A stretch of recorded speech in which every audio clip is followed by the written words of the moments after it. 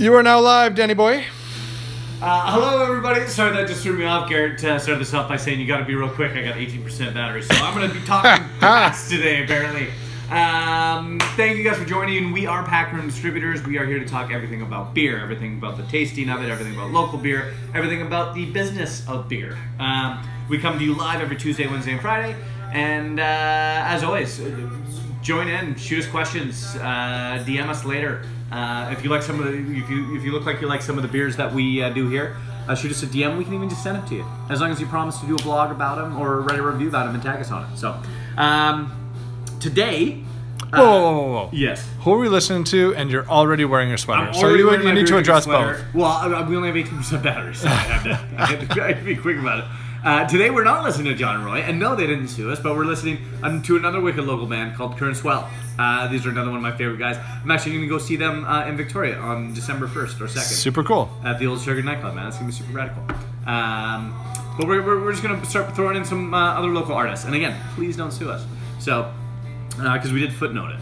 So We did. We so did. it's authentic. We did. Today we're gonna look at some pale ales, uh, some West Coast pale ales, some ones that have West Coast right in the name. So West Coast pale ale of uh, Postmark.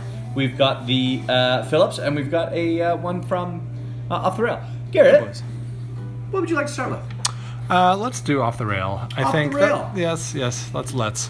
I'm gonna, I'm gonna, I'm gonna start this one by saying this is actually one of my favorite uh, pale on the market. It is, and you're not lying. It's uh, it's 40 IBUs. Um, it is a. Uh, they're now in cans, which is pretty cool. I don't think I've ever had one from a can. Let's see if that tastes any different. Uh, it's nicely balanced. They won a lot of- 2016 gold medal winner. Yeah, they've, uh, they've won twice now. I think they won 2017 as well. Uh, these guys are on fire with uh, with this one. So, um, 40 IBU, 5.0% alcohol. my personal favorite, this along with the Karma Citra, are my two favorite. Uh, From Off the Rail. From Off the Rail, for Right. sure. Yeah. Let's get right into it, mate. Yep. Happy Friday. Happy Friday. the gullet. Well, hit me up, bro. Fours nice copper colors, a little darker than most pales. Yep. Great profile. That head, thick, frothy. Everything that you want in a pale. Nice little color to the uh, to the foam. Uh, pales. This is done with a I want to say a golden hop. Um, so it's a local hop. It's a two row barley uh, that that they use. So it's kind of an English style.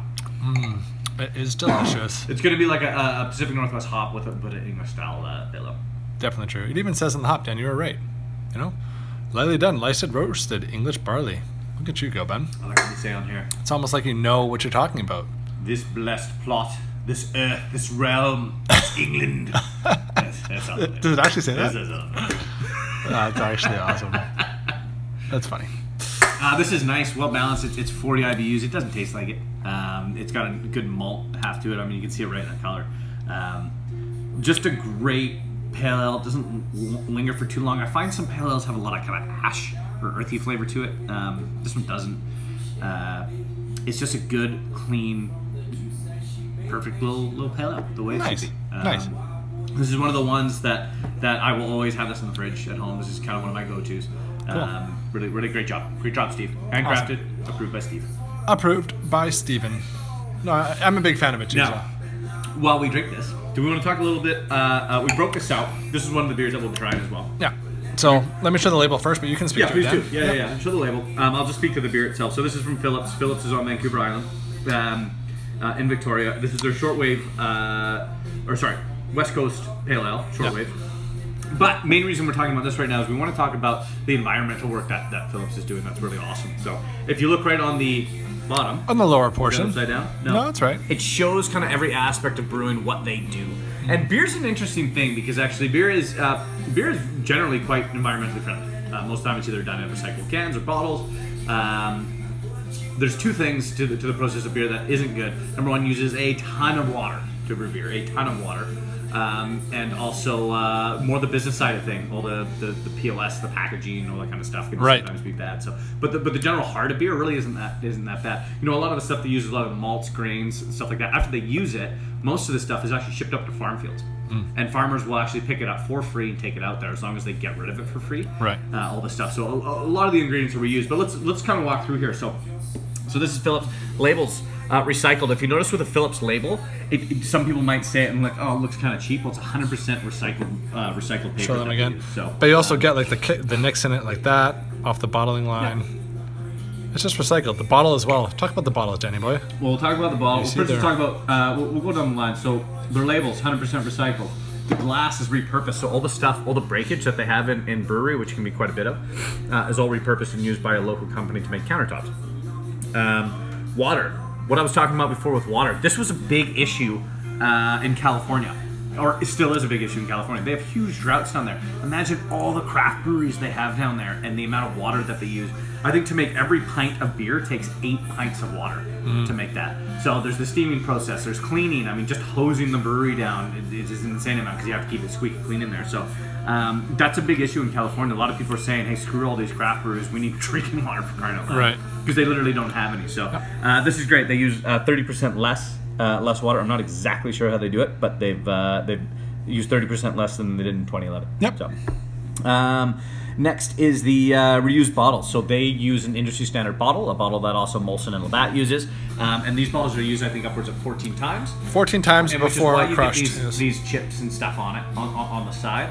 Uh, it's not an inferior bottle. In fact, it's quite different. Actually, good. it's a very um, I think it's cool. it's a, it's actually a better, thicker bottle uh, because it has to be used 14 times, Mm-hmm. right? So uh, all the other ones, all the other bottles that are, are just one use, a lot of times they're thinner and they just don't have to be as good as quality, right? So It's um, interesting just to jump in how Yeah. I mean premium in Asia is very much uh, unique bottle, pristine looking, and just because there's so many craft breweries in in the Pacific Northwest, this is a premium bottle. This is what it looks like because Yeah. this is how they're differentiating by the environmentally friendly aspect. It's pretty cool. Yep. Anyways, go back to it. Uh, grain, really good. Uh, a lot of the grain. Um, let's let's let's here. Uh, a lot of the grain from brewing tastes quite divine to bovine connoisseurs. We make brew that feeds. So what I was talking about before, how a lot of this stuff is actually shipped out. Now these are guys are bigger. A lot of the smaller guys they can't quite do that. Um, but uh, but these guys are a lot bigger, so uh, so they're able to do that. And the last one is steam. They recapture the steam to uh, heat the next batch. Awesome. Shall we pour? Let's pour. Speaking of that, let's try this one right here. Then. Let's do it, buddy. Let's do it. Six.